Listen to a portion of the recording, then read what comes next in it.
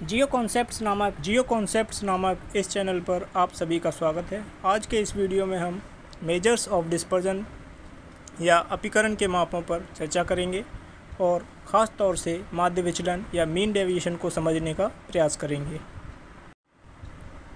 पहला प्रश्न है अपीकरण के मापों या मेजर्स ऑफ़ डिस्पर्जन का क्या अर्थ है तथा इनकी क्या आवश्यकता है? केंद्रीय प्रवृत्ति या मेजर्स ऑफ़ सेंट्रल टेंडेंसी के किसी भी मापक में यह विशेषता नहीं होती कि वह अकेले ही आंकड़ों के वितरण के गुणों या विशेषताओं को सही ढंग से बता सके। क्योंकि ये मापक आंकड़ों के भीतर की परिवर्तनशीलता या वेरिएबिलिटी को पकड़ पाने में असमर्थ हैं। इसीलिए आंकड़ों के भीतर की परिवर्तनशीलता को जानने के लिए अपीकरण के मापों या मेजर्स ऑफ़ डिस्पर्जन की आवश्यकता पड़ती है।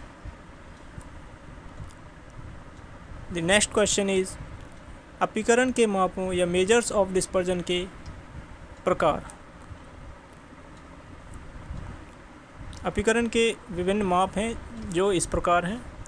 नंबर एक, प्रसार या रेंज नंबर दो, चतुर्थ विचलन या क्वार्टाइल डेविएशन नंबर तीन, माध्य विचलन या मीन डेविएशन नंबर चार, प्रमाप विचलन या स्टैंडर्ड डेविएशन नंबर पाँच, सापेक्ष विचलन या रिलेटिव डिस्पर्जन और आज के इस वीडियो में हम ख़ास तौर से चर्चा करेंगे माध्य विचलन पर या मीन डेविएशन पर।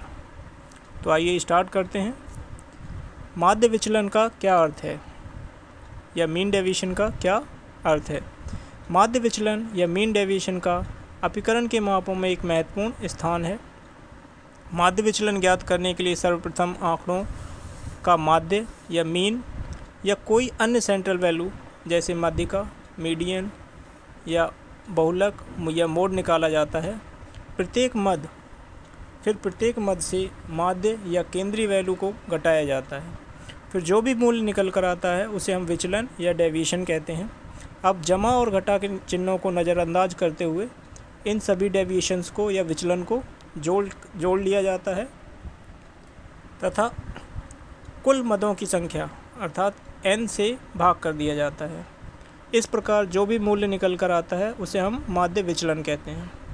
दूसरे शब्दों में कहें तो माध्य विचलन क्या है? किसी भी केंद्रीय प्रवृत्ति के माप जैसे मीन, मोड या मीडियन, इस वैल्यू से प्रत्येक वैल्यू कितनी दूरी तक स्थित है, उनके बीच का गैप निकाला जाता है और सभी वैल्यू का ये गैप निकाल कर टोटल किया जाता है। और उसके बाद फिर उसका औसत निकाल लिया जाता है। तो मीन डेविएशन ये है कि किसी भी डेटा में जितने भी आंकड़े हैं, जितने भी मद हैं, वो औसतन मीन वैल्यू से कितनी दूर तक फैले हुए हैं। ये इसका अर्थ है। नेक्स्ट क्वेश्चन इज़ माध्य विचलन का उदाहरण। अब हम माध्य विचलन को इस उदाहरण के द्वारा समझने का प्रयास करेंगे। इस उदाहरण में ए बी और सी तीन स्थान हैं, जिन पर उत्पादन पाँच सालों का उत्पादन इकाइयों में दिया गया है। 2001 से लेकर पाँच तक ये पाँच वर्षों का उत्पादन इन ग्रीन कॉलम्स में दिया गया है। ए स्थान के लिए है दो, तीन, दो दो, एक यूनिट। बी स्थान के लिए एक, दो, चार, ज़ीरो, तीन और सी के लिए ज़ीरो, एक एक एक, सात। तो ये उत्पादन है। जब हम मीन को देखते हैं एक इस इन आंकड़ों के सेंट्रल वैल्यू को देखते हैं, जो कि मीन है तो मीन में हम पाते हैं कि तीनों स्थानों के लिए मीन क्या है? दो आ रहा है।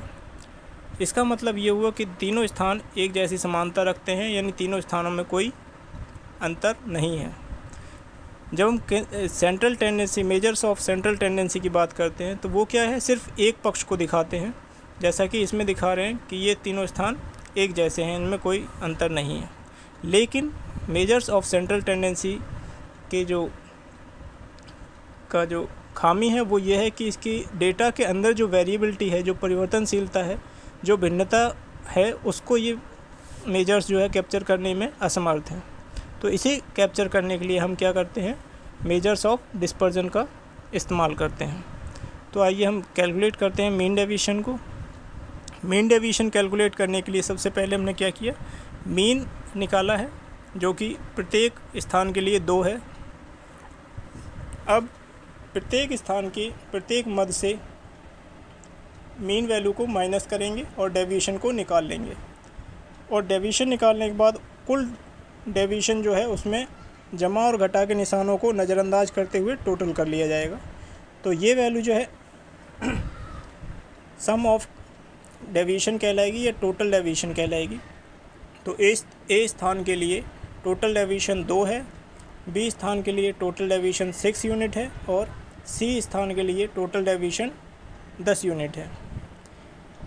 अब हम मीन डेविएशन कैसे निकालेंगे? मीन डेविएशन निकालने के लिए जो टोटल डेविएशन है, उसको एन नंबर से डिवाइड कर देंगे। एन कितना है यहाँ पे? फाइव तो दो को फाइव से डिवाइड किया तो ए स्थान के लिए मेन डेविएशन कितना है? ज़ीरो पॉइंट फोर ऐसे ही बी स्थान के लिए कितना है? Six divide by five is equal to one point two और सी स्थान के लिए मेन डेविएशन दस को पाँच से डिवाइड कर देंगे तो वो दो आ जाएगा। अब हम मेन डेविएशन को देखें तो मीन डेविएशन बता रहा है हमें कि ए स्थान पर जो उत्पादन है उसमें कंसिस्टेंसी पाई जा रही है। अर्थात मीन डेविएशन कम होगा तो कंसिस्टेंसी ज़्यादा होगी। और बी स्थान पर कंसिस्टेंसी और कम है और सी स्थान पर कंसिस्टेंसी बहुत कम है। तो इसी उदाहरण को हम आगे एक और विस्तार से समझते हैं।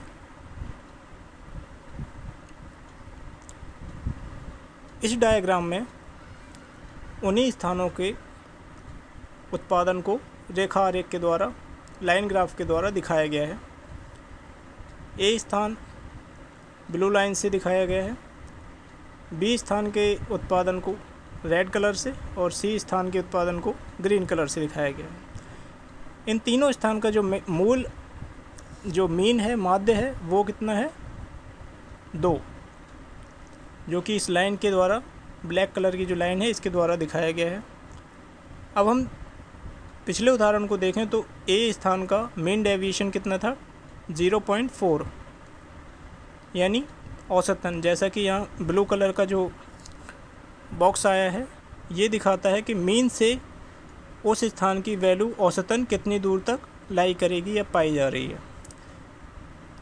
इसी प्रकार बी स्थान की जो वैल्यू है, वो मीन के ज़्यादा दूर तक, अर्थात 1.2 यूनिट दूर तक फैली हुई है।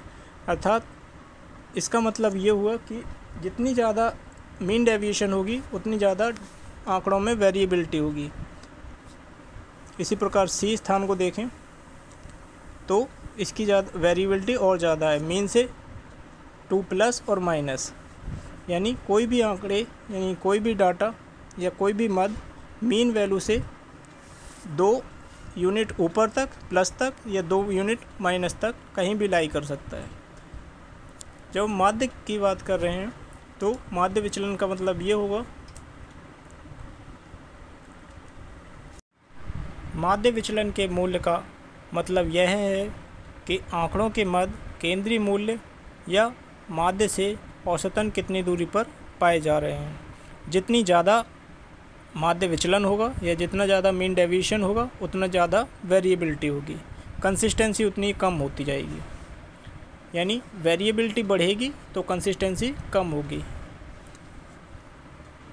अर्थात अगर मीन मीन डेविएशन की वैल्यू बहुत कम है तो इसका मतलब कि वो आंकड़े उन पे हम विश्वास कर सकते हैं। अर्थात जो भी अगला उत्पादन होगा, वो मीन के पास में होगा मीन वैल्यू के इर्द गिर्द होगा। जितनी ज़्यादा वेरिएबिलिटी होगी, उतनी ही कम कंसिस्टेंसी होगी। अर्थात अगर यहाँ पर मीन वैल्यू दो यूनिट है तो अगर इस केस में देखें तो सी केस में मीन डेविएशन टू यूनिट है।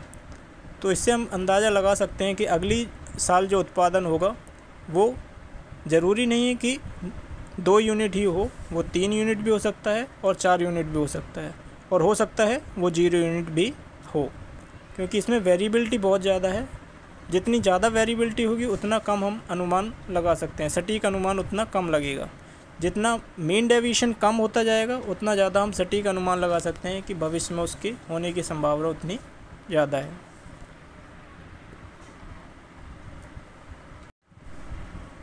माध्य विचलन के अर्थ और महत्व को समझने के बाद अब हम कुछ प्रश्नों का अभ्यास करेंगे, जो कि मीन डेविएशन या माध्य विचलन से संबंधित हैं और महत्वपूर्ण भी हैं। और प्रश्न है कि माध्य विचलन या मीन डेविएशन कैसे ज्ञात करेंगे? And the options are mean को एन से डिवाइड करके, या sum of deviation from mean divided by N under root of deviation from mean divide by N और स्क्वायर ऑफ़ deviation फ्रॉम mean divided by n. Think over it. And the correct answer is sum of deviations from mean divided by n. और अगला प्रश्न है, इस चिन्ह को, दिए गए चिन्ह को किस नाम से पुकारा जाता है? ऑप्शन है, लाम लैम्डा, सिग्मा, पाई या alpha. Think over it and the correct answer is sigma. अगला प्रश्न है, माध्य विचलन या मीन डेविएशन में माध्य से सभी विचलनों को डैश महत्व दिया जाता है और ऑप्शन है, समान, कम विचलन को कम और ज़्यादा विचलन को अधिक या ज़्यादा या कोई नहीं। Think over it and the correct answer is समान। अर्थात, माध्य विचलन में माध्य से सभी विचलनों को समान महत्व दिया जाता है। अगला प्रश्न है, माध्य विचलन में ज्ञात कीजिए, माध्य विचलन ज्ञात कीजिए यदि मद इस प्रकार हों। अर्थात, किसी भी डेटा सेट में अगर ये आंकड़े हों तो इसका माध्य विचलन क्या होगा? और डेटा इस प्रकार है, तीन छः छः सात, आठ ग्यारह, पंद्रह और सोलह। और ऑप्शन है first option is four point two five four point zero five three point nine five या three point seven five think over it and the correct answer is 3.75 अर्थात उपरोक्त आंकड़ों का माध्य विचलन 3.5 3.75 है। अगला प्रश्न है, माध्य विचलन या मीन डेविएशन का सूत्र या फॉर्मूला निम्न में से कौन सा है? And the options are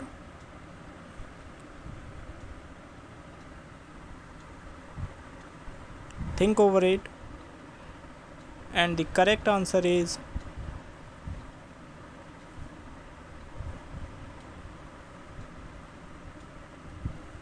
अगला प्रश्न है, दो छात्रों के पढ़ाई करने की अवधि का माध्य समान है, लेकिन छात्र ए का माध्य विचलन छात्र बी से कम है, तब निम्न में से क्या सत्य होगा? और ऑप्शन इस प्रकार हैं, छात्र ए की पढ़ाई के समय में छात्र बी से अधिक निरंतरता या कंसिस्टेंसी है, छात्र बी के पढ़ाई करने के समय में छात्र ए से अधिक निरंतरता या कंसिस्टेंसी है। छात्र ए और छात्र बी के पढ़ाई के समय में कोई अंतर नहीं है। छात्र ए और छात्र बी की पढ़ाई करने के समय में कोई निरंतरता या कंसिस्टेंसी नहीं है। Think over it and the correct answer is छात्र ए की पढ़ाई के समय में छात्र बी से अधिक कंसिस्टेंसी है। अर्थात जिसका माध्य विचलन कम होगा, उसमें उतनी अधिक कंसिस्टेंसी पाई जाएगी। अगला प्रश्न है, यदि किसी स्थान की चार महीनों की वर्षा की मात्रा सेंटीमीटर में इस प्रकार हो, जैसे पचास सेंटीमीटर, चालीस सेंटीमीटर, पंद्रह सेंटीमीटर और पंद्रह सेंटीमीटर तो माध्य विचलन या मीन डेविएशन निम्न में से क्या होगा? ऑप्शन है, पंद्रह सेंटीमीटर पच्चीस सेंटीमीटर, तीस सेंटीमीटर और बीस सेंटीमीटर। इस पर गहन विचार करें। और सही आंसर है पंद्रह सेंटीमीटर। अगला प्रश्न है, दो माध्य विचलनों या मीन डेविएशन दस दशमलव दो या बीस दशमलव चार, इनमें से किसकी निरंतरता या कंसिस्टेंसी अधिक होगी? ऑप्शन है दस दशमलव दो, बीस दशमलव चार, दोनों की या किसी की भी नहीं। Think over it and the correct answer is ten point two दस दशमलव दो की वाले मीन डेविएशन की निरंतरता या कंसिस्टेंसी अधिक होगी। अगला प्रश्न है, माध्य विचलन का मूल्य बढ़ने से निरंतरता पर क्या प्रभाव पड़ेगा? ऑप्शन है कंसिस्टेंसी बढ़ेगी कंसिस्टेंसी घटेगी कंसिस्टेंसी स्थिर रहेगी, या फिर कंसिस्टेंसी अस्थिरता होगी कंसिस्टेंसी में अस्थिरता होगी। करेक्ट आंसर इज़ कंसिस्टेंसी घटेगी। जितनी ज़्यादा माध्य विचलन बढ़ेगा, उतनी ही ज़्यादा कंसिस्टेंसी कम होती जाएगी। अगला प्रश्न है, माध्य विचलन की गणना करते समय निम्न में से कौन से कदम उठाए जाएँगे? ऑप्शन है, माध्यिका बहुलक या माध्य की गणना करना, केंद्रीय मूल्य से मदों का विचलन निकालना विचलनों के योग को मदों की संख्या से भाग देना। या उपरोक्त सभी। And the correct answer is उपरोक्त सभी। अर्थात माध्य विचलन की गणना करते समय सबसे पहले केंद्रीय वैल्यू निकाली जाएगी, फिर उससे मदों का विचलन निकाला जाएगा और फिर विचलनों को टोटल किया जाएगा और उसमें से उसको मदों की कुल संख्या अर्थात एन से भाग दे दिया जाएगा। तब जो वैल्यू निकल के आएगी उसे हम मीन डेविएशन कहेंगे। अगला प्रश्न है, माध्य विचलन की गणना कीजिए। यदि मदों की संख्या, मदों का जो मूल्य है वो दस, नौ, आठ, तीन व दस हो। ऑप्शन है चार सेकंड ऑप्शन है तीन थर्ड ऑप्शन है दो एंड फोर्थ ऑप्शन है पाँच। इनमें से क्या सही आंसर है? या उपरोक्त में से कोई नहीं। करेक्ट आंसर इज़ टू अर्थात उपरोक्त जितनी भी वैल्यू दी गई हैं, उनका माध्य विचलन दो है। माध्य विचलनों की गणना कीजिए। माध्य विचलन की गणना कीजिए। यदि मदों का मूल्य दस, पंद्रह सत्रह, तेईस व दस हो। ऑप्शन है चार, तीन, दो, पाँच। इनमें से कौन सा सही ऑप्शन है जो उपरोक्त आंकड़ों के माध्य विचलन को दर्शाता है? या कोई नहीं? Correct answer is four. अर्थात उपरोक्त आंकड़ों का सही माध्य विचलन चार है। अगला प्रश्न है माध्य विचलन की गणना कीजिए। यदि मदों का मूल्य तेरह अठारह सत्रह तैंतीस व उन्नीस हो इन मदों का माध्य विचलन निम्न में से कौन सा होगा? 3.2 5.2 2.7 या सेवन पॉइंट या फाइव पॉइंट सेवन, या उपरोक्त में से कोई नहीं। And the correct answer is five point two अगला प्रश्न है, माध्य विचलन की गणना कीजिए। यदि मदों का मूल्य इस प्रकार हो, तेईस, सोलह, बाईस, तैंतीस व सत्ताईस। इन मूल्यों का माध्य विचलन निम्न में से क्या होगा? ऑप्शन है three point two three five point two six four point six four five point seven five या उपरोक्त में से कोई नहीं। और correct answer is four point six four ये उपरोक्त आंकड़ों का सही माध्य विचलन है। अगला प्रश्न है माध्य विचलन की गणना कीजिए। यदि मदों का मूल्य इस प्रकार हो 21, 22, 23, 24, 25 इन मूल्यों का माध्य विचलन निम्न में से क्या होगा? ऑप्शन है 3.2, 2.2, 1.2 या 2.75 या उपरोक्त में से कोई नहीं। And the correct answer is 1.2